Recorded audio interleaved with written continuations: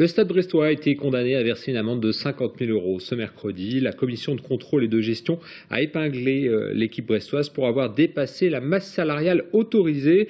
En effet, en début de saison, le Stade brestois avait fait appel à des renforts à la suite de défections. Plusieurs joueurs étaient blessés. Et puis, euh, donc, euh, dans l'actualité du championnat, pour la 32e journée de Ligue 2, le Stade brestois affronte ce vendredi Arles-Avignon à Francis Leblé à 20h. Merci